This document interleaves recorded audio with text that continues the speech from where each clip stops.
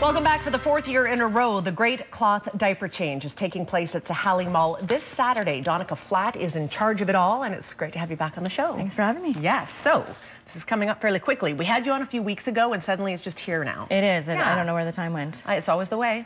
Um, so the event takes place at Sahali Mall, just outside of where Target used to be. Um, it's 10 till 2, and the actual change itself, I know people have been asking about that, is at 11 o'clock. That's when the whistle will blow and the actual change happens. Um, but before and after, there's lots that we're having too. We're having some vendors, so Tupperware and Soapworks, doTERRA, Nuggles, Peekaboo Beans, Norwex, um, some ready-made soups for those busy, busy parents, uh, Steep Tea, Twist of Fate, um, Temple Adornment, Snuggly Bums, and as well as some community booths are going to be there. There's also going to be some activities for the older children. So sometimes, because it's that one-to-one ratio in the change area, sometimes the siblings, um, we don't want them to feel left out or anything like that. So we're going to have a mini change for them, so they can participate in their own way in the in the diaper change, um, as well as some crafts and activities for them. How many communities around the world are taking part in this? Do you have a ballpark? This goes on in different countries. It does. It's Yeah. all around the world. There's over 200 locations, and uh, the record we're hoping to beat is just under 10,000 cloth diapers changed in that 24-hour period. So this is obviously a push for cloth diapers and, and the importance of thinking about the environment when it comes to the choices you make when you're having children.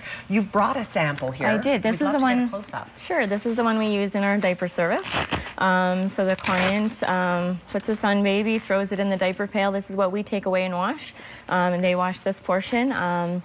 And last year, in a three-month period, we diverted over 10,000 diapers from the Kamloops landfill. So even though people don't think they can make a difference, um, every diaper that's not in the landfill counts, and it adds up very, very quickly. And the time it takes to decompose a, a, a- regular diaper that's not cloth is like hundreds of years. Yeah, and they haven't even 300 factored to it. 500 years. They don't even know, and the average child will give five to 8,000 diapers in Mm-hmm. a landfill. So that's a lot of diapers sitting.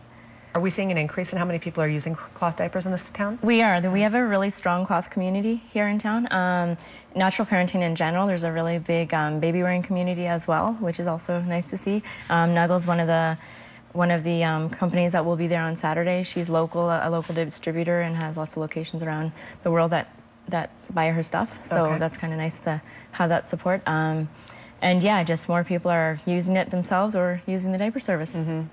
Sahali Mall this Saturday. Do people need to sign up ahead or can they just show up? And They can show up, and if you don't cloth diaper, you're not excluded by any means. We welcome everyone. Um, you can register online at snugglybums.com. There's World Record 2015 uh, link, and uh, when you register, you just indicate if you need to borrow a diaper or not, and we bring one along for you. Excellent. And people can get to know a little bit more about some of these companies just by being there because of all the vendors. So it's a win-win. Yeah.